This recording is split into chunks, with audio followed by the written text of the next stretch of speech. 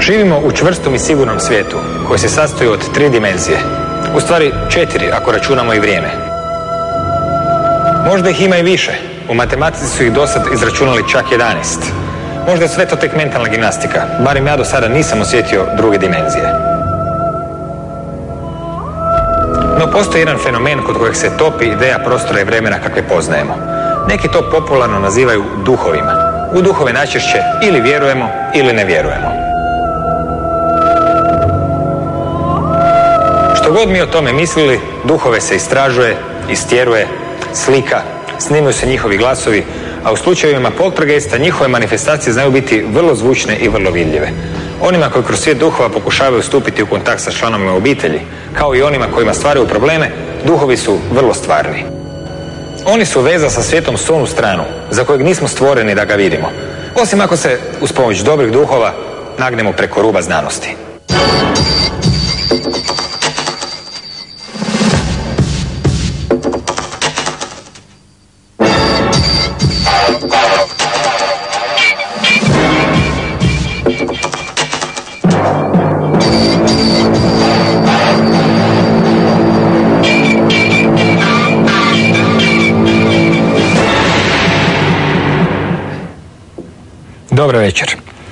Zrinka Jančić jest regresoterapeut, također je autorica vodiča za regresologe Put u prošle živote. S nama o duhovima raspravlja i Edo Šimunko, duhovni učitelj, reki učitelj i voditelj tečaja istine. Pa evo, na početku, uh, gospođo Jančić, dobro, duhovi ako postoje, vjerojatno postoje oduvijek. Međutim, negdje tek u 19. stoljeća se počelo njima pisati, počelo se istraživati. Ljudi su neki rekli, gledajte, ima duhova oko nas, što ćemo sad s njima? Uh, možete nam reći, uh, kada je zapravo cijeli taj interes za duhove i zbog čega počeo, ko su njegovi začetnici, svega toga što se zove zapravo spiritizmom? Pa eto, pojam duhova, istraživanja duhova i općenito opisi takvih pojava postoje od pamtivijeka u svim narodima na području zemaljske kugle. Znači od šamanističkih obreda prizivanja e, duhova predaka, na primjer u Sjevernoj i Južnoj Americi. Zatim imamo zapise kod Sumerana, kod Egipćana. E, na egipatskim nadgrobnim spomenicima, na primjer, često se obraća e, pokojniku sa željom da se ne uznemiruje one koji su ostali živjeti, pogotovo ako je u pitanju bila nekakva nagla smrt. Znači, svi stari narodi su zapravo pokušali objasniti tu pojavu i isto tako spominju, na primjer, i pojavu dobrih i zlih duhova. Zapravo možda se oni nisu bavili duhovima jer su im duhovi bili nešto svakodnevno, obično, tek u 19. stoljeću kad je došla Tako ova tehnologija, onda se odjednom oni postali nešto mistično. Pa evo, osim što se spominju i u Bibliji u svim drevnim tekstovima, nekako suvremeno istraživanje je počelo u 12. stoljeću, e, zatim negdje 1599. godine Martin Del Rio je skupljao e, brojne podatke o pojavi duhova, pa je tako eto skupio 18 primjera demona za koje je rekao da uzrokuju brojne pojave kao što je zveckanje, lupkanje, e, znači micanje predmeta, stvaranje glasova za koje ne znam od kuda dolaze. I međutim u to doba nekakvog srednjeg, srednjeg vijeka to se svrstavalo u pojavu nekakvih zlih sila, znači sotone. Njih se istirivalo s njima Njih se istirivalo i tako, znači inače e, Papa e, Urban VIII u svojim e, kanonskim zakonima znači odredio točno ritual za istirivanje duhova, takozvani egzorcizam. Dok je eto u 19. stoljeću došlo do jedne industrializacije. Čini do... mi se da je došlo do povećanja količine besposlenih ljudi, bogatih, imućnih. Pa, re, mislim da je to bilo jedno razdoblje općenito razvoja te znanstvene svijesti, e, e, istraživanja u Egiptu, znači arheoloških istraživanja koje su jako pobudile e, maštu zapadnjaka. Bilo je jedan e, bogato- bogati sloj ljudi, ko, intelektualaca koji si je eto, imao vremena i mogućnosti istraživati taj fenomen, tako da je spiritizam cvao nekakvom razdoblju od 1800 e, recimo 80. pa do 1930. godine kada je stvoreno na primjer Britansko parapsihološko društvo 1889. godine, zatim društvo za psihološke istraživanja 1882. godine, e, Teozofsko društvo sa popularnom e, Madame Blavatsky, znači oni su se intenzivno bavili spiritizmom, zazivanjem duhova, znači spiritističke seanse su tada bile nešto vrlo popularno. I ljudi iz najviših slojeva društva su se bavili s tim istraživanjima. Ono što je različito od nekakvog srednjeg vijeka je to što su oni počeli zaista s jednim znanstvenim pristupom, tako da se jedan od osnivača parapsihološkog društva, gospodin Myers, eto, uključio jedno, istraživanje gdje je uključio 700 ljudi, zapravo 17 tisuća ljudi, od kojih je 1700 na kraju potvrdilo da je imalo nekakvo iskustvo viđenja duha. Znači, on je dao, na primjer, nekakve natuknice, znači da li ste čuli možda glasove, pomicanje predmeta, e, miris, znači nekakav neugodan miris se tada pojavljuje, e, sablast, znači da li se pojavila. Znači tu je bio cijeli jedan niz fenomena koja, koje su se mogla pažati i eto 10% ljudi je pozitivno tada e, potvrdilo da je imalo takvo iskustvo. uh u tom razdoblju, na, na primjer, je stasao i poznati psiholog Carl Gustav e, Jung, koji je isto na jedan znanstveni način pokušao pristupiti tom fenomenu za koji je smatrao da on postoji i da on transpsihičke prirode.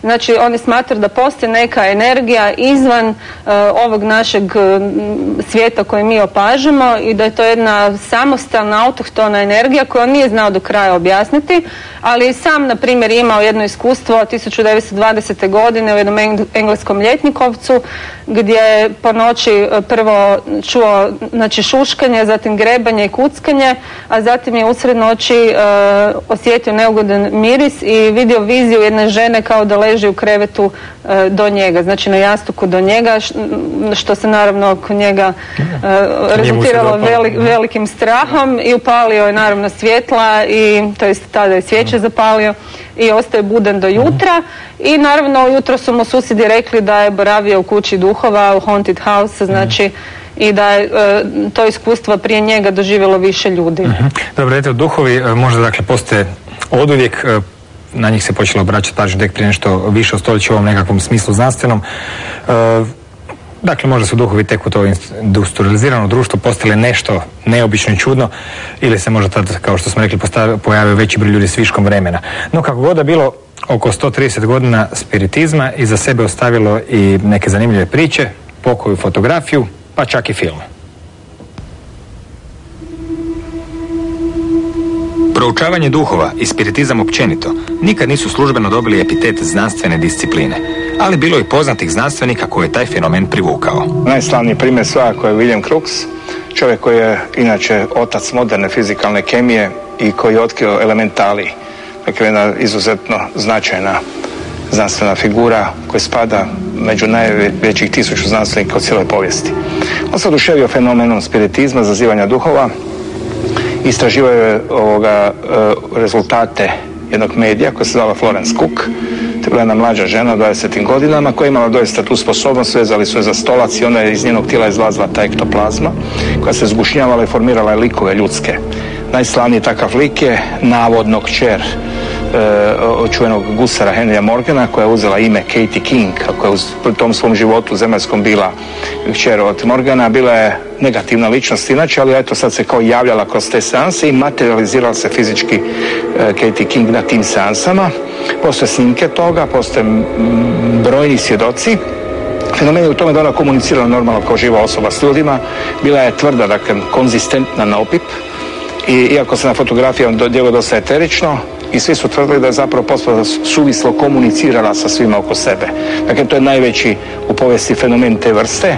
Kad se Florence Cook udala, onda se prestala time baviti, povukla se iz javnog života i taj se duh fenomen nije javljao više toliko, međutim javljao se negdje iza rata nekim seansama i zadnji puta 1974. kad je jedan kanadski liječnik pokušao e, ponoviti e, tako jednu spiritističku sansu, doista se materializirala ta Katie King i to je doista šokantan fenomen, pogotovo ako znamo da čovjek kao William Crookes iza toga stoji.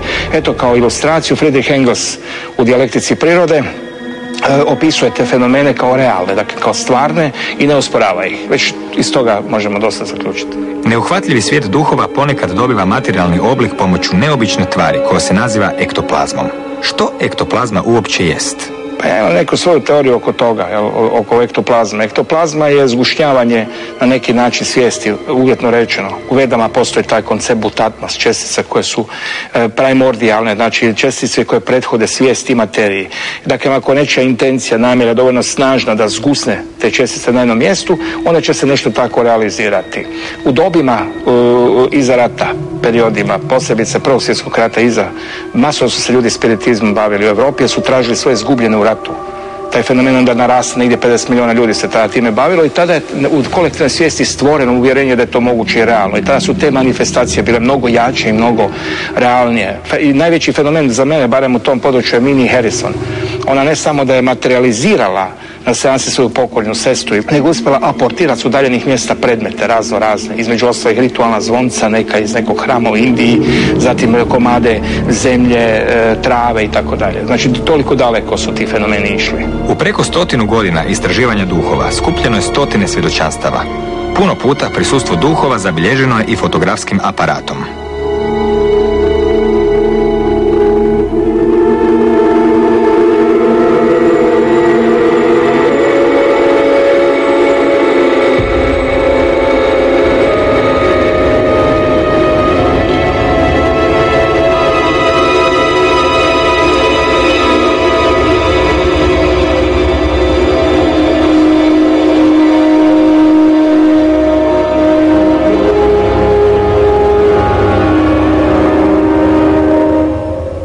Nekim slučajevima netko se sjetio na spiritističku seansu ponijeti i kameru.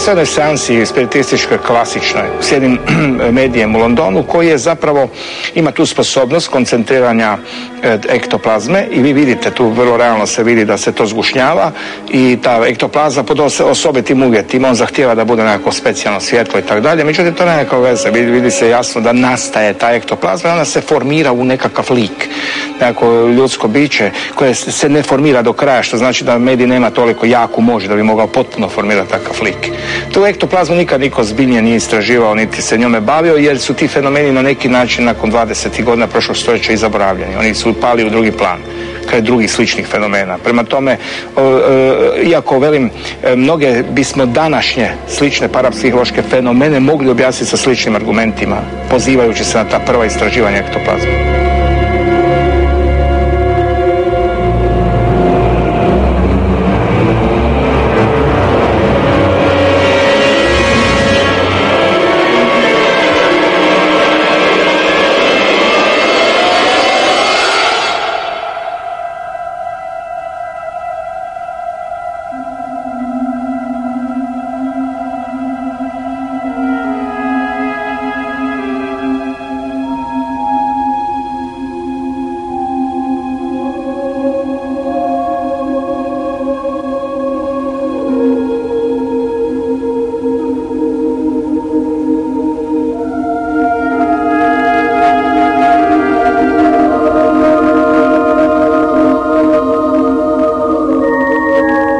Jesu li duhovi uvijek duhovi? Neki smatraju da ih se može objasniti nekom drugom paranormalnom pojavom. Uostalom, jeste li čuli za duha Filipa? To je zanimljiv fenomen zato što su grupa psihologa koja je posumnjala u autentičnost tih fenomena napravila vrlo, vrlo zanimljiv eksperiment, a to je izmislili su čovjeka kojem su dali ime Filip i izmislili su mu čitavu biografiju ime, prezime, gdje stanuje, gdje se rodio, sve, kompletnu njegovu biografiju, kompletno izmišljena osoba i kad su napravili spiritističku seansu u nekoliko navrata, Filip se počeo javljati na seansama i davati odgovore koji su bili konzistentni sa biografijom izmišljenom. Dakle, ipak je u igri nekakva kolektivna svijest i možemo sami proizvesti kolektivno čak i čitave ljudske identitete. Pripada li istraživanje duhova samo zapadu ili je fenomen poznat i u drugim civilizacijama? Zanimljiva je jedna stvar, vidite u tibetanskom budizmu postoji jedna tehnika, metoda vizualizacije s kojom vi možete stvoriti takvog duha koji vas fizički prati. I dosta se vjerovalo dugo da je to samo fama legenda, da ne postoji dok nije Aleksandra David Neal koja je posvojila jednog lamu tibetskog, lama Jongdena, proputovala 12 godina cijeli Tibet, bila inicirana u najtajnija učenja i vizualizacijom je stvorila, kreirala jednog malog monaha, smiješnog, sičuštog koji je uvijek išao iza nje. I ona je ovoga ga kasnije diskreirala nakon šest mjeseci i tvrdila da je to stvarno realno biće koje se može stvoriti na takav način. I u tibetskom budizmu se to uči, uzima kao realna mogućnost. Jer ona je ozbiljan istraživač bila, dakle David Neal je najozbiljniji istraživač Tibeta svih vremena vjerojatno, tako da je teško posumnjati u njene navode jer je ona zaista bila korektna u svim svojim ostalim navodima. I ja sam imao neke kontakte s tibetanskim vama i oni su mi potvrdili to u načelu moguće, međutim skrenuli su mi jednu pažnju na jednu stvar da ta osoba, osoba, uzmemo to kao osobu, neku nema identitet, neka vrsta je zombija, međutim sve nam stječe parcijalno ličnost u kom trenutku ga treba pod navodnicima rastaviti.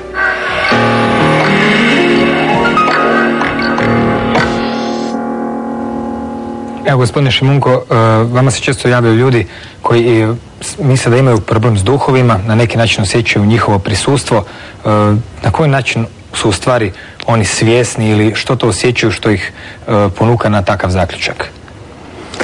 Pa ja duboko vjerujem da priča o duhovima ne ide samo ne znam, u nekakav srednji vijek ili u nekakvu prošlost kroz ispitivanja, nego da je ona svakidašnja, današnja ovdje u Zagrebu, na bilo kojem dijelu svijeta. I da se ljudi stalno sreću sa tim kroz nekakve manifestacije koje se događaju na razini e, njihove spoznaje svijeta, njihovog doživljaja, e, samih sebe ili nekakve njihove okoline, nekih ljudi koji su oko njih, koji mijenjaju svoje sklonosti, koji postaju drugačije, drugačiji kroz izražavanje, kroz e, to što više ne doživljavaju i svijet oko sebe na isti način, nego se mijenjaju pa ne znam, neko može promijeniti potpuno svoje sklonosti, tako da umjesto ne znam, nekakvog trezvenjaka koji čitav život nije okusio kap alkohola, nakon što mu umre brat koji je bio nekakav težak alkoholičar, postane, ne znam, u 70-im, 80-im godinama i on alkoholičar. Spominjali ste mi zapravo se duhovi vežu ili uz prostor ili uz ljudi. U ovom slučaju znači oni se ovako zahakljaju za osobu. Može biti jedno i drugo. Ja vjerujem da je češće ovo drugo, gdje mi e, nama drage ljude koji su otišli, jednostavno prizivamo natrag, ne dozvolimo im da odu ili oni sami neće otići. Jer smatraju zapravo da mm, tam s druge strane nije baš dovoljno interesantno, zapravo ne prihvaćaju svoju smrt i onda ostaju ovdje i vješaju se na aure drugih ljudi i kroz njihovo e, doživljavanje svijeta mijenjaju ih i onda oni sami isto postaju ovoga, ovdje prisutni i doživljavaju ovaj svijet opet, ali ne kroz svoje tijelo, nego kroz tijelo nekog drugoga. Koliko je e, realan onaj e, film Šesto čulo koji je na jedan način pokupio sve moguće spoznaje u duhovima i onda ih i prikazao kako ih je prikazao, ko je gledao zna. Mnogi kažu da je to zapravo film koji na neki način ima dosta dokumentarnog u sebi. Po meni on je jako, jako istinit. Naravno, priča je prilagođena filmskoj industriji i nekakvog mediju, mediju koji je prilagođen ovoga prikupljanju novca, ali je priča e, ta koja daje nekakav osnovni e, e, primjer iz života koji se stalno događa oko nas. Dakle, postoje masa ljudi koji nakon što pređu u drugu dimenziju ostaju ovdje jadni, zbunjeni, nesretni i traže način, traže mogućnost da odu dalje. Jer nakon nekog vremena shvate da ono što su zapravo htjeli nisu dobili, nego ostaju jadni i nesretni i traže pomoć kako otići dalje na svom putu. I onaj mali dječak koji je e, mogao vidjeti takve prizore bio je prvo prvo uplašen zbog toga što nije znao o čemu se radi. Ne? Kasnije u cijeloj priči kako se ona odvija, on svača zapravo da oni traže njegovu pomoć. I to je priča o duhovima vrlo često. Dakle, oni traže našu pomoć i mogućnost da im pomognemo da odu dalje do sljedećeg savršenog mjesta za njih. Kakav je to osjećaj e, prisustva koji se spominje? Da li e, ti ljudi e, nešto vide, čuju, samo osjećaju da nisu sami kako oni to opisuju? Pa, pa osjećaj inače teško opisati. E, rekao bi sve to. Dakle, nekada je to samo osjećaj.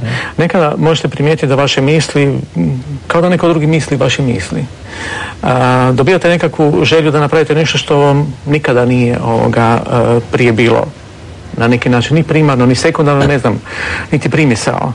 E, puno puta se probudite ujutro, a da imate dojam kao da cijelu noć niste spavali. puno puta eksplodirate eksplodirate odjednom, ne znate ovoga razlog, imate tada razlog, zašto, ne znam, na, voljenu osobu, na nekog bliskog. Uh, kasnije ustanovite da uopće nije bilo nikakvog razloga za to. uh može se dogoditi da imate nekakve čudne ideje da napravite nekakav potvat koji zdravog razuma nikad vam ne bi pao na. Dobro, taj osjećaj prisustva je teško pisati, uh, gospođo Jančić. Koje su to, onako iz znanstvene perspektive rečeno, kolekcionarski, uh, vrste simptoma, kako su oni podijeljeni koje ukazuju na prisustvo duhova, upravo ono što su ti istraživači silni toliko godina istraživali? A, ti simptomi su zapravo isti kroz uh, ove stotine, čak bi rekla i tisuće godina. Znači, uh, prvi simptom je taj osjećaj prisustva. Zatim imamo krckanje, grepkanje ili pocketanje namještaja. Znači duhovi baš vole u Znači oni zapravo uđu, uđu u predmet i na neki način ga mogu rastegnuti iznutra i tu se dobije jedan osjećaj podsketanja koji vi ne možete proizvesti tako recimo da gurate ormar ili, ili nekakvu škrinju, da dobijete uopće taj podsketavi specifičan, da, jedan specifičan podsketavi osjećaj. Zatim može biti uh, znači ozbiljnijih stvari kao što su pomicanje predmeta, znači da nađete neku knjigu izvučenu na primjer u biblioteci ili nešto što ste stavili, znači nije tu nego na drugom mjestu. Uh, zatim se može desiti znači neugodan miris, ali može se desiti neka druga vrsta mirisa e, koji se isto prikaže do pojave poltergeista, znači baš levitacije, micanje velikih predmeta, znači gdje ćete vidjeti da, ne znam, posuđe lebdi po zraku ili čak micanje teških predmeta, nekih komoda, ormara, znači e, i u tom slučaju, znači može biti u pitanju nekakva i psihokineza, znači da osoba svjesno ili nesvjesno pomiče tu stvar i često je tu u pitanju nekakvo dijete ili e, onako u pubertetu tineđerska osoba koja vrlo često je povezana sa pojavom poltergeista. A eto, ja sam bila nazočna i nekim fenomenima gdje nije bilo takve osobe prisutne i gdje su se zaista samostalno micali predmeti gdje, gdje ste morali priznati da tu postoji neka svjesna energija koja ima neku namjeru znači mhm. pritom da nekako obratite pažnju na nju. Mhm. Koliko te energije prezivamo sami u povijesti spiritizma ima, zapravo mnogi klinci su često puta se skupili oko stola, drmali ga, pojavljivo se duh, najčešće to možda nije bila ta osoba za koju su oni mislili, mhm. pitanja su možda bila iz njihove svijesti. Koliko uh, uopće uh, pojava duha ima veze sa samom osobom koja se ona ukaže, koju vidi. Jesu li to neovisne stvari ili su toliko pa povezane pa ponekad ima, ponekad ima veze, ponekad nema veze. Znači, e, apsolutno se zapravo ne preporuča prizivanje duhova na nekakvim dječjim e, seansama ili općenito nestručnih osoba. E, tu zaista možete privući duha ili entitet, kako mi to rado nazivamo danas, koji ne mora biti baš tako ugodan i kasnije možda neće željeti otići. Znači, ljudi neće biti dovoljno stručni même été tamo gdje bi on trebao biti. Znači, e, vrlo često ljudi nekakvom igrom možda i nesvjesno privuku nekakav Nekog jednako zaigranog duha. Pa jednako zaigranog duha, ali može to biti nekakav izločesti duh i smatra se obično što je duh duže zarobljen na zemlji, on stječe sve veće moći, znači gdje on e, će moći sve bolje upravljati materijom, micati predmete, znači ući u osobu, izazivati određene glasove, znači, na primjer, pojava glasova iz osobe. Znači to je vrlo često nekakva djevojčica u pubertetu koja počne dubokim mhm. muškim glasom govoriti. To su neki od prvih primjera opsjednuća znači tih nekakvih e, većih primjera pojave duhova. Vidjeli smo u ovom prilogu tu jednu kako bi da, materiju koja donekle podsjeća na pastu za brijanje ili nešto slično, naziva se ektoplazom. E, da li je bilo pokušaja da se dopre do odgovora na pitanje što ona u stvari jest, od čega se sastoji?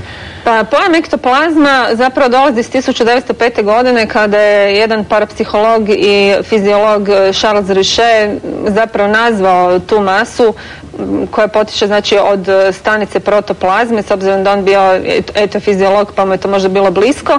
Znači on je rekao da je to jedna želatinozna masa koja s vremenom poprima oblik osobe ili dijela tijela.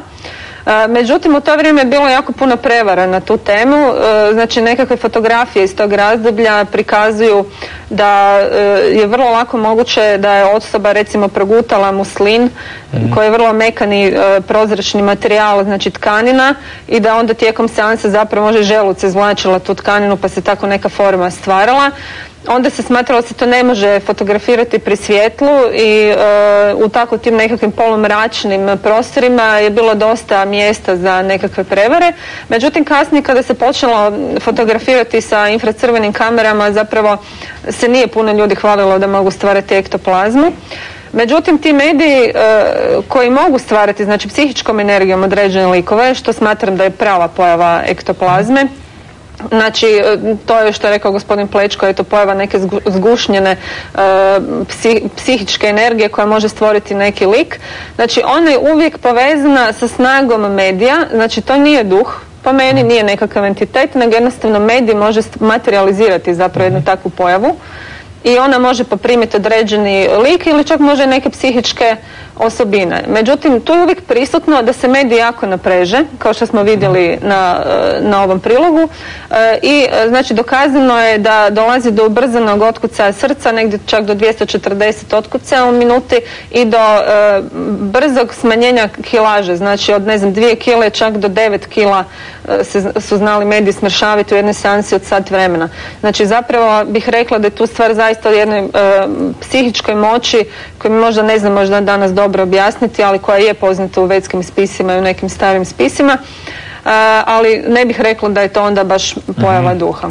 Edo, uprko se različitim uređajima, e, najbolje antene za hvatanje signala iz svijeta duhova još uvijek su ljudi.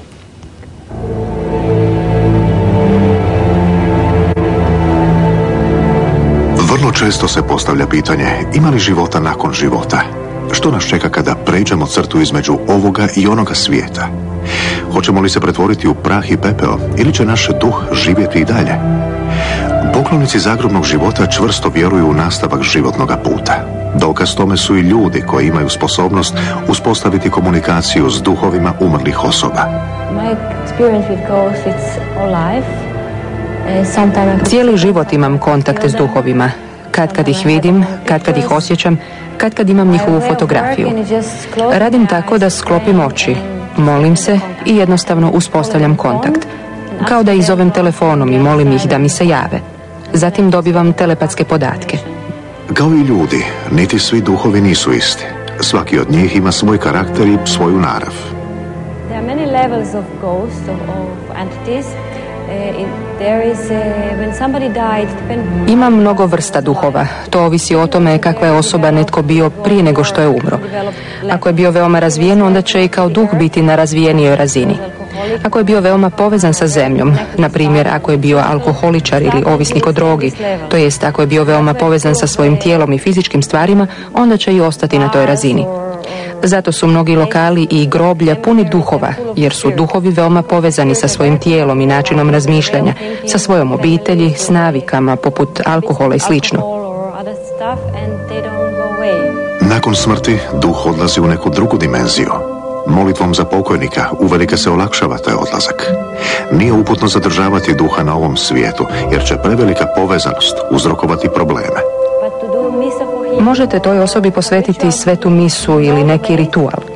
Morate toj osobi na sve moguće načine pomoći da shvati da je napustila svoje tijelo i da mora nastaviti. Nastavljamo živjeti i nakon smrti, samo u drugčijoj dimenziji. Kad kad je teško prijeći iz ovoga svijeta na onaj drugi.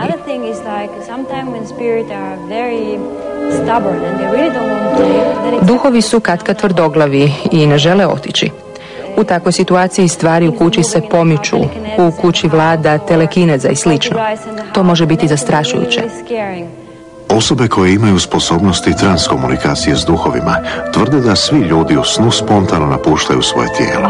Neki pak mogu napustiti svoje tijelo kad god to požele, za što je potrebno mnogo vježbe. U astralu postoje različite dimenzije i različita mjesta koje možete posjetiti. Ondje ste slobodni. Možete letjeti, možete materializirati stvari, možete se boriti na razne načine, možete mnogo naučiti, možete se naći s prijateljima koji su također u astralu u tom trenutku. Ako spavaju, neće se toga sjećati. Sjećat će se toga kao da je bio san. Ali ako su i oni pri svijesti, to može biti divan sastanak. Možete posjetiti mjesta koja ne možete ni zamisliti. Možete otići u dimenziju u kojoj se nalaze preminuli. Možete se naći i sa svojim ljubljenim. Mnogi ljudi sanjaju o izabraniku svog srca, a kad se probude, imaju dojam da je to bilo stvarno. To i jest bilo stvarno. Izašli su iz svog tijela i jednostavno su se sastali s tom osobom. Mnogim se ljudima to dogodi spontano, bez planiranja. Oni su ili uplašeni ili uzbuđeni, ali uz učenje i mnogo vježbe možete to činiti svjesno i tada je to zbilja divno iskustvo.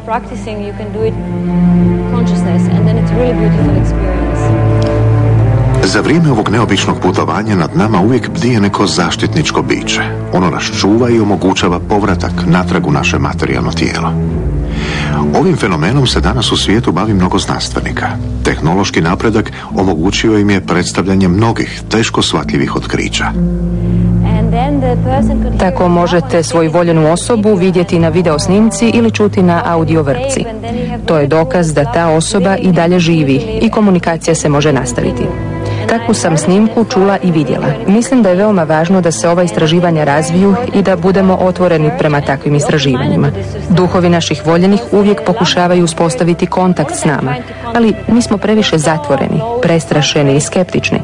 Naš mozak ne želi prihvatiti ono što čujemo i vidimo. Možda smo zaista prestrašeni i skeptični. Možda naš mozak zaista ne želi prihvatiti ono što čujemo i vidimo. Možda. Pa opet, možda.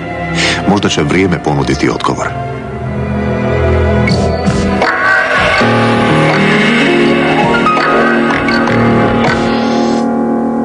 Eto, gospodine Šimunko, mi zapravo govorimo ovako lakonski o duhovima, malo prije smo vidjeli ektoklazmu, čuli smo iskonstruirane ličnosti, tu se spominju i duše, a najčešće pravi izraz su entiteti. E, možete nam zapravo reći e, jesu li duhovi dobri, nisu dobri, da li su oni razlikuju od onog što se naziva identitetima, da li je svaki duh stvarno duh? Pa, pa svaki duh je, je stvarno duh. Mhm. Međutim, uh, kad mi govorimo duhov, duhovi, kad kažemo duhovi, onda obično imamo nekakav negativan prizvuk u svemu tome.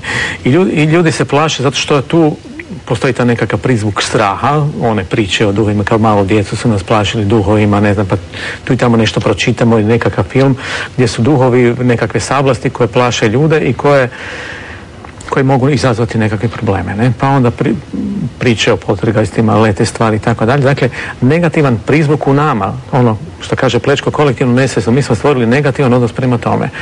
Ali ja zapravo mislim da su duhovi dobri i da zapravo su to vrlo često nama najdraži ljudi. Duh može biti moj otac koji je umro, razumijete? Osoba koja me je vodjela, koju sam je volio, koja nikada ništa nije loše htjela meni napraviti. Dakle, neko ko je meni jako blizak. Imamo li uvijek posla s duhovima koje poznajemo? Ne, ne. E, najčešće su to oni koji su nama dragi. Međutim, postoje oni koji su, kako je rekla Zrinka prije, malo zločesti zato što e, su malo duže ostali ovdje. One priče o dvorcima, engleskim i tako dalje, srednjim vijekovnim, gdje postoji duhovi koji su par stotina godina stari. Oni jesu zločesti. vole plašiti, zato što su sladali e, mogućnosti kako da pokreću materiju i tako dalje. Ali e, puno puta je to neko tko u potrazi za pomoći kao što smo rekli malo prije za onaj film, traži pomoć i onda luta okolo. I traži mogućnost da, ne znam, skupi malo energije, jer evo, došao je ovdje, tu ne možem, ja mu ne mogu pomoći i onda, onda uzme malo meni energije kroz moju auru, kroz e, moju energiju koju ja imam, je to malo životna energija i odlazi dalje. Dakle, to bi moglo biti malo zločesti i to mogu biti neki koje mi ne Kao komarci, malo siše ovdje, pa da, malo, posiše i mhm. ode dalje. To se vrlo često događa, zapravo to se događa svakodnevno. U literaturi, a i u svakodnevnom životu e, mogu se naći ljudi koji e, tvrde da vide duhove, često puta tvrde da ih vide na nekim mjestima gdje su recimo zadovoljila prometna nesreća, pa uvijek je e, križ, svijeće i tako dalje. Sad oni tamo vide duha koji stoji to je zapravo duh iz njihove interpretacije kojom na nekom mjestu baš njegove voljene nisu dopustili da ode tamo gdje već duhovi moraju otići. Nažalost. Nažalost, naši običaji postavljanja tih e, svijeća, križeva, cvijeća e, na mjesta pogibije naših voljenih vrlo često upravo te naše volje ne zadržavaju ovdje i otežavaju im njihov odlazak. I mislim da je to jedna, uh, jedan običaj koji je vrlo loš za te osobe koje su otišle. Znači trebalo bi ih oplakati Trebalo bi ih otpustiti kao što kaže uh gospođa Tarbuj. Dakle, treba ih otpustiti, treba im napraviti nekakav ritual, ritual opraštanja. To ne mora biti misa ili može biti misa ili možemo jednostavno sjesti i reći evo, Hvala ti lijepa, družili smo se čitav život. Ja ti želim najviše dobra ljubavi na tom putu, daljem idi i dalje putuju svojim životom. I vidimo se na nekom drugom mjestu, neko drugo vrijeme. Ako uopće termin vremena postoji u tim pričama. Gospođo Jančić, e, spominjali ste prije e, vetske izvore, oni e, tu rade vrlo velike razlike između duša, duhova, čak spominju nekakve izraze kao što je e, astralni leš.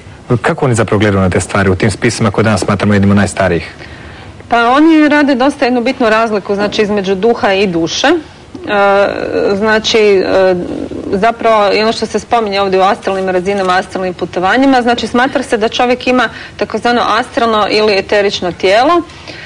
E, Znači to je naš takozvani eterični dvojnik koji izgleda isto kao i mi sada, znači samo je to jedna finija materija i e, znači možemo i svjesno napuštati tijelo i odlaziti tim astralnim tijelom, e, posjećivati druga mjesta na zemlji, ali na astralnim razinama. Međutim, nakon smrti se dešava da čovjek odbacuje e, to astralno tijelo nakon nekog vremena i ono pada kao na te niže razine i tu se raspada.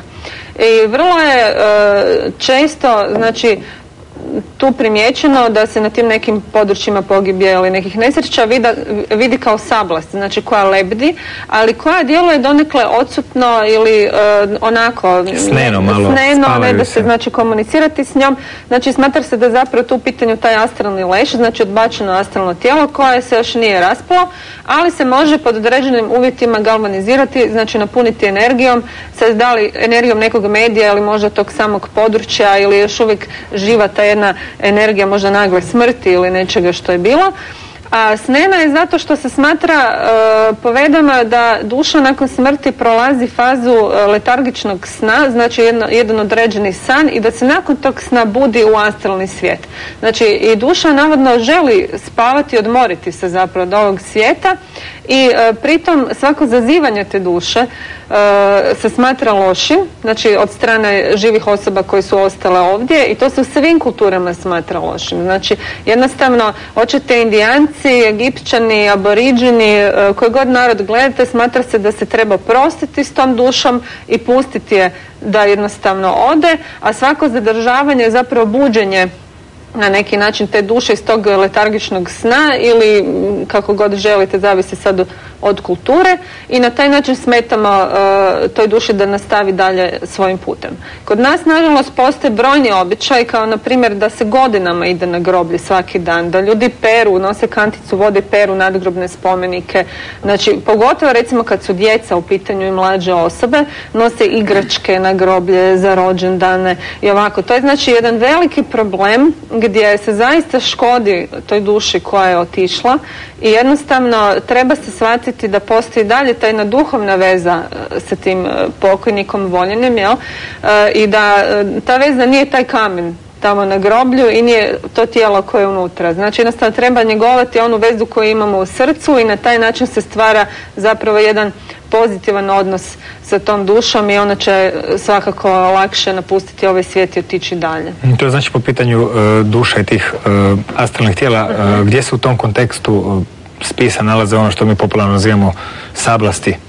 Pa Znači, je ono, upravo u- znači taj jedan astralni leš koji onda lebdi na nižoj razini i onda je on vidljiv znači mnogim ljudima. E, S druge strane postoji možda i nekakav temporalni poremećaj takozvani, znači gdje može postoji jedna jaka misaona energija nekog događaja i znači ako se vi nađete na području na primjer neke bitke iz prošlosti gdje je umrlo puno ljudi, možda ćete na moment čuti zvukove te bitke tih konja, tih topova i tako dalje. Međutim, e, to zapravo nije taj temporalni poremećaj, nego je jedna, jedna misaona poruka, jedan jaki misaoni nekakav imprint e, u, u tom jednom trenutku, znači u tom području kao e, utkano možda u, u materiju na neki način, jer snažne misli puno ljudi može ostaviti znači jedan jak dojam na energiju i polje i to može osoba poprimiti kad se nađe na tom mjestu nakon određenog vremena. Mislim da je e, sve što postoji je živo na neki način i upravo te sablasti, te, ta astralna tijela zapravo sama za sebe osta- žele ostati živa,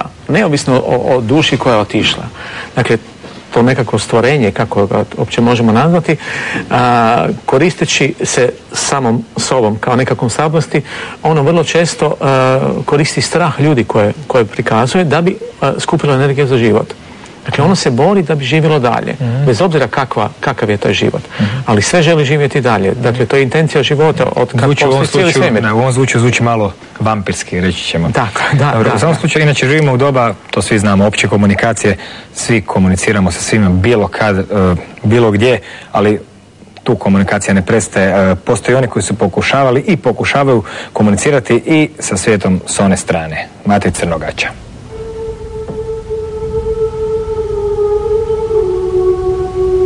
Razgovor s duhovima iz kuta običnog čovjeka doima se vrlo mističnim i teško shvatljivim. Ipak to je tema koja golica maštu mnogih istraživača. Neki od njih htjeli su snimiti njihove glasove i međusobnu komunikaciju. Podaci govore kako su Edison, Tesla i Marconi radili na izvedbi uređaja za otkrivanje i snimanje paranormalnih zvukova. Za života nisu uspjeli proizvesti ispravan uređaj, ali zanimljiva je već sama činjenica da su se vodeći znanstvenici svog doba bavili tim fenomenom. Prvi uređaj za otkrivanje paranormalnih zvukova sadržavali su diodu od Germanija. Na jednom kraju bio je otpornik, a na drugom antena koja je prikupljala šumove. Paralelno s otpornikom bio je spojen kondenzator, a cjelokupni uređaj trebao je biti dobro uzemljen. Tako se mogao dobiti najčistiji mogući zvuk. Zvuk se bilježio na magnetofonsku vrpcu koja se okretala najmanjom mogućom brzinom. Snimljeni signali bili su vrlo niske glasnoće, a često i prilično nerazumljivi. Sami uređaji za detekciju proizvodili su šumove koji su kvarili i onako nejasne pozadinske glasove. and you're going to hear somebody call after them, hurry back.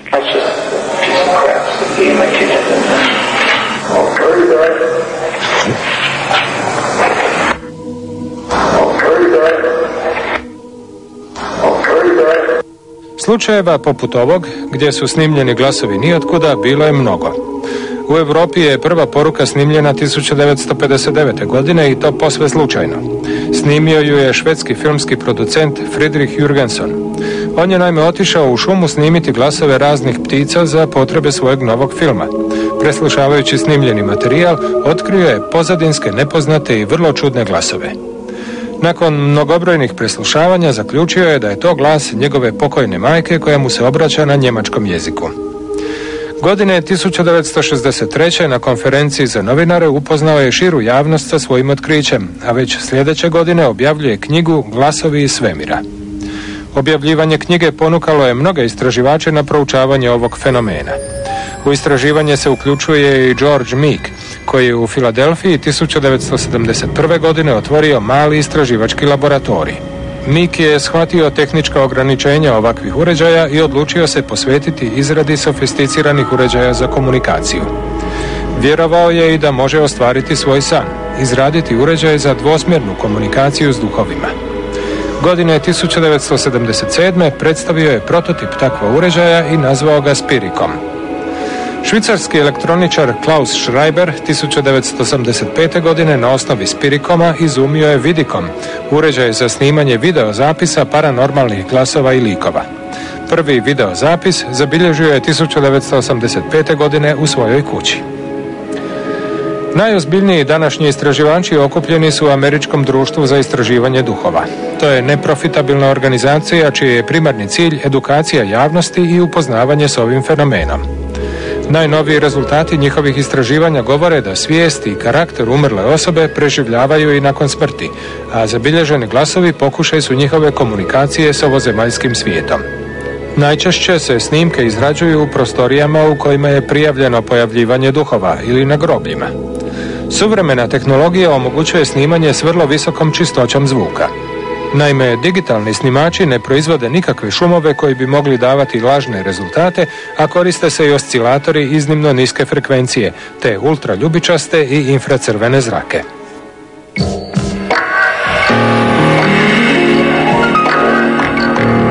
Gospodine Šimunko, e, malo prije ste spominjali da smatramo duhove zločestima, zlima. E, u proteklih nekoliko stotina godina, barem ovdje na zapadu, bio je popularan pojam egzorcizam. Smatralo se da je vrag ušao čovjeka i onda ga se nekako nastojalo istjerati. E, Ima li egzorcizam veze sa duhovima, odnosno je li to baš prava metoda ili nije? Kakve veze zapravo danas možemo povući sa tim običajem koji zapravo i danas postoji vrlo često egzorcizam se na mnogo mjesta još uvijek primjenjuje. Egzorcizam se primjenjuje danas još uvijek puno.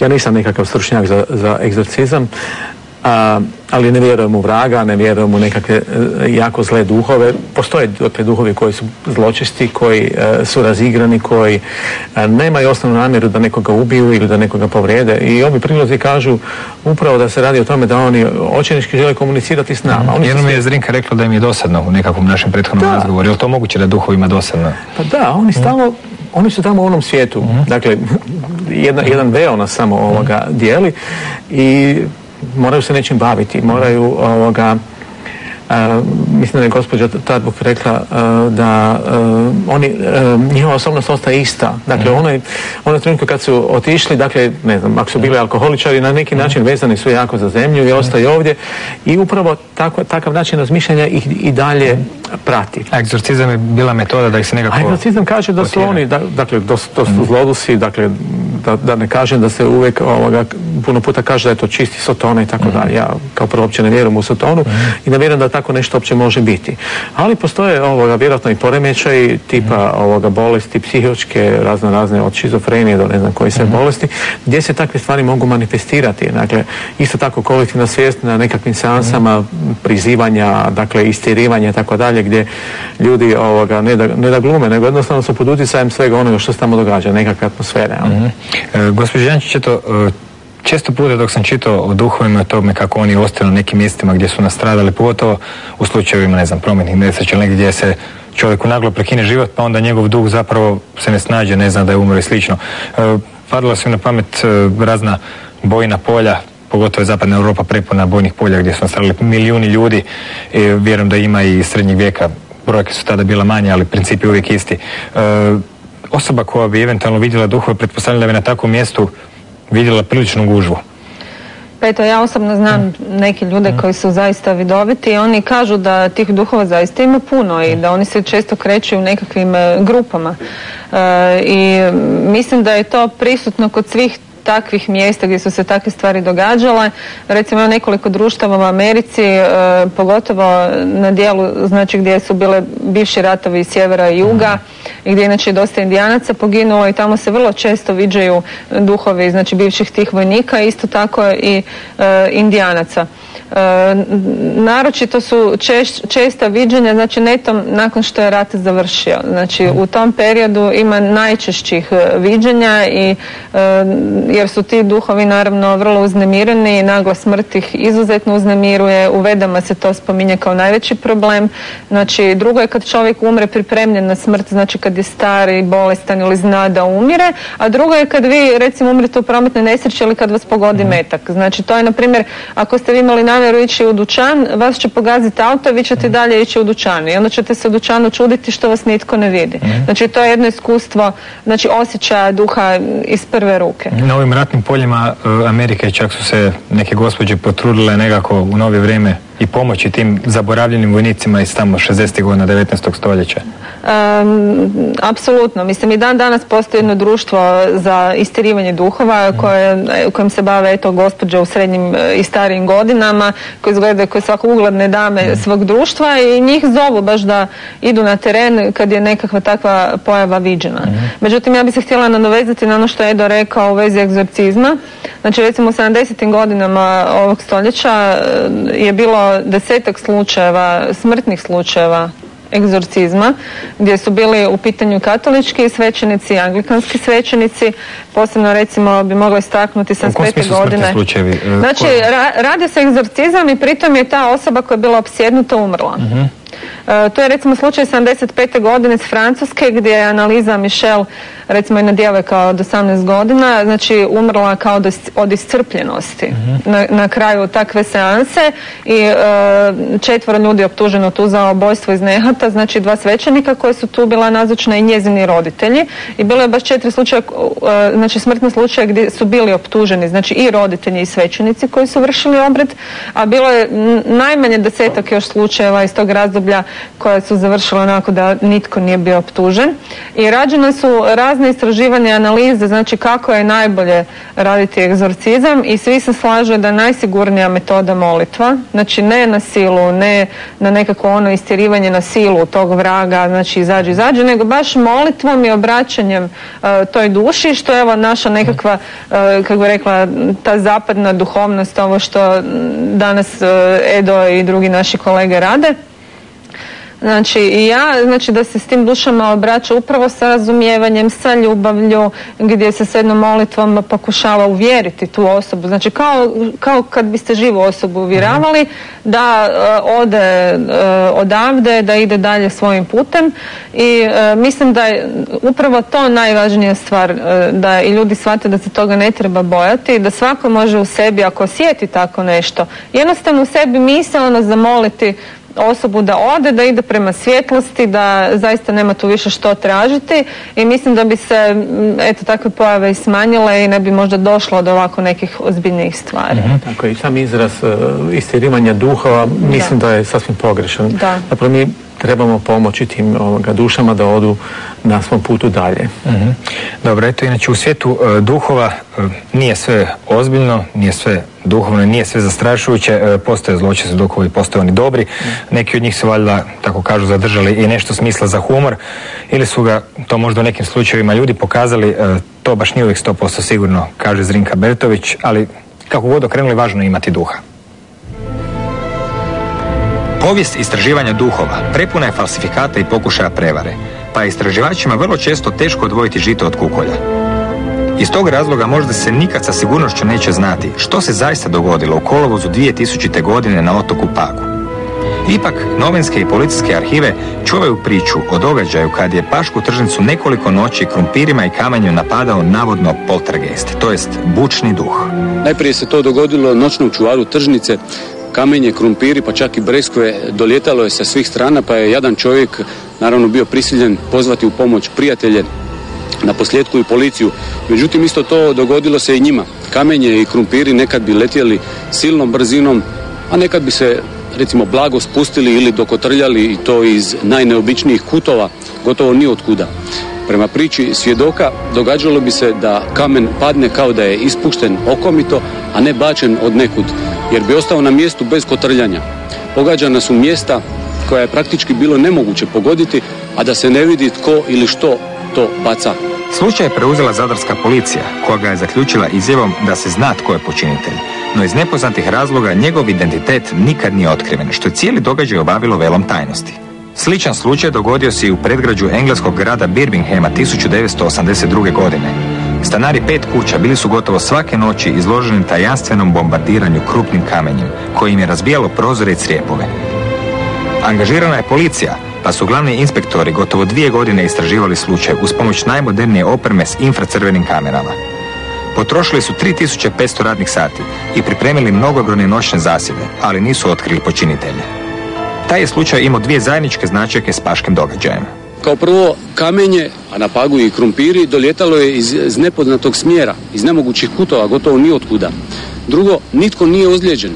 Kao da je to nešto namjerno poštedilo ljude iako je pogađalo imovinu, u Engleskoj čak razbijalo i prozore. Kamenje nije imalo nikakve otiske prstiju, tragove, znakove. Izgledalo je kao da je oprano, konkretno krumpiri u pagu, prema izjavama svjedoka. U oba slučaja, dakle u ovom na pagu i u ovom engleskom, bila angažirana policija, koja niti iz zasjeda nije uspjela otkriti počinitelja. Svojedobno je i jedan od najpoznatijih istraživača, Arthur Clarke, izjavio kako je fenomen poltergeista moguć, nakon čega se oko toga stvarala paukova mreža raznih objašnjenja. Sve teorije se na kraju konačno svode na jednu teoriju, da je riječ o nesvjesnoj primjeni psihokinetičke sile, dakle tajna ili odgovor ovog fenomena je u ljudskoj psihi.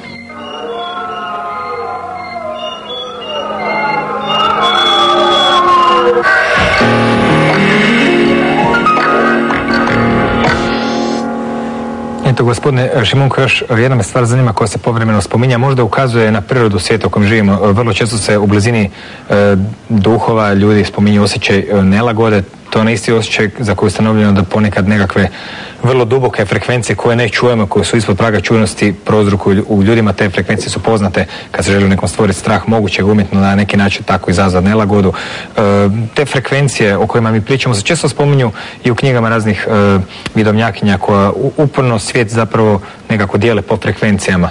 Znači mi zapravo nismo na pravoj frekvenciji da bi vidjeli duhove ili o čemu se to stvari radi. Pa, definitivno nismo na prave frekvencije da bi vidjeli duhove. Oni, oni vibriraju na druge frekvencije. Ne? ljudi koji imaju dar, koji su vidoviti, koji mogu ovoga vidjeti duhove, koji mogu komunicirati, ja vjerujem da ih ima puno, znam i neke od njih. Vjerujem da e, mogućnost gledanja u drugu dimenziju, otvoreno treće oko, dakle, e, mogućnost baratanja na neki način sa vibracijama, e, to je često izazvano čisto spontano, nisu svjesni kako, kako do toga dolazi, a kako vrijeme prolazi, oni vrlo često mogu razviti mogućnost, dakle, upravljati njome, dakle, prilagođavanja nekakve frekvencije na koje uh, vibriraju ti duhovi. Mhm. I tada oni postaju zapravo njima vidljivi na neki način. Postaju vidljivi, mogu komunicirati sa njima. Tih frekvencija onda vjerojatno isto različitih, to su međusobno nekakve onda cijeli nivoj frekvencija postoje ili ima i bezbroj, ima i bezbroj, ne? Dakle, mi smo svi ljudi na jednoj frekvenciji, oni su na nekakvoj drugoj, ne? A opna je vrlo tanka mhm. ili ne znam, ta frekvencija, međufrekvencija je tanka i može se probiti kroz nju. Mm-hmm. Gospođo evo, spominjali smo uh, duhove, spominjali smo i duše, one odlaze iz tijela i tako dalje. Da li je uh, ikada itko, možda nekad prije nekoliko tisuća godina, možda novije vrijeme, pokušao definirati ili prepoznati zapravo ono što duša materijalno jest? Njena veličina, oblik. Je li bilo takvih istraživanja, s obzirom da vidimo da se ovdje ipak događa nekakve materijalne veze postoje između svjetova na neki način, bilo tektoklazma, paranormalne sposobnosti, duhovi, sablasti, a eto tu, tu se taj duša nalazi. Je li bilo kakvih pokušaja stavljivanja fizičkog traga duše? Pa bilo je brojnih istraživanja. Mislim da se najviše radilo na tome da su se recimo vagala ljudska tijela prije smrti i nakon smrti. I tu je uvijek bila jedna mala razlika u nekoliko grama, recimo gdje... 21 gram. Evo. 21 gram. Uh-huh. Sad se upravo vrti u Zagrebu film 21 uh-huh. gram, upravo o tome. Uh-huh. Dobro, znači 21 gram je uh, jedna opcija. Bilo nekih drugih opcija? Pa, e, mislim, u vedama se spominje znači da upravo to astralno tijelo ima određenu e, tu mhm. težinu, međutim kada se to otpusti, znači onda duša nema masu. Znači ona mhm. smatra se da ona zaista nemjerljiva, znači u smislu nekakve mase, znači oblika i tako dalje. Znači, e, međutim, mislim da smo ipak još daleko od toga da to točno izmjerimo, da će tu trebati još malo vremena proći da, da, da, vidimo takvu stvar. A što se tiče samih tih energetskih razina, Znači frekvencija to najlakše shvatiti kako radio funkcionira. Mhm. Znači vi malo mičete radio i tu imate nekakve druge radio mhm. stanice koje se međusobno ne miješaju. Mhm. E, isto tako funkcioniraju znači ljudi, duše, duhovi i tako svako zaokuplja jednu od tih e, frekvencija. Dobro, evo i za kraj misli jedan e, savjet, možda onako jedan savjet tipa uradi sam, neko osjeti da možda nije sam da ga neki duh muči i tako dalje, umjesto da traži pomoć, e, kako si najbolje može sam pomoć da riješi taj problem koji ga eventualno muči? Prvo odbaciti svaki strah. Dakle, ne, nema straha, nema, jer strah paralizira, zapravo strah onemogućava. Strah je suprotnost ljubavi tamo gdje strah nema ljubavi. Dakle, odbaciti svaki strah i obratiti se, dakle, toj duši, tom duhu, kako već hoćemo to nazvati, zamoliti e, da e, ode, da postoji sljedeće savršeno mjesto na njegovom putu, da ode zahvaliti za, ne znam, posjet, za, za druženje, e, reći toj osobi da je ona bila svjetlost, da je još uvijek svjetlost, da nikada neće biti ništa drugo nego samo jedino svjetlost, da e, je živjela prije, da će živjeti i dalje, da zapravo nikada nije umrla, e, neka se ne boji i neka ide slobodno. I možemo zamoliti često naše anđele, arkanđela Mihaela, dakle nekakva bića svjetlosti koja na neki način mogu pomoći i zamoliti da odvedu tu, tu dušu u svjetlost. Ne da ode, ne, ne, ne smijemo ju tjerati, trebamo joj pomoći da ode. Ona zapravo je došla da bi dobila nešto od nas ili da bi dobila pomoć da ode. Dobro, sam slučaju dakle, to može ne zvuči jako komplicirano, ne? Ne, uopće. Eto, inače bila je ovo e, priča o svijetu duhova, ispalo da oko nas vlada puno veća gužva nego što sam ja mislio. I mada uopće nije pošteno da oni mogu vidjeti nas, a mi ne možemo vidjeti e, njih. Ja se ne bi mijenjao ipak s onima koji ih vide, pogotovo ne u ovo doba noći. Ugodan vam san i nek vas čuvaju dobri duhovi.